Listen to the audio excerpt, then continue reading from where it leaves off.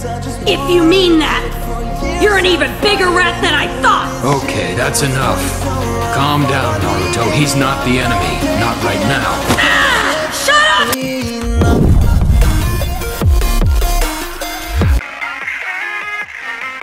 up!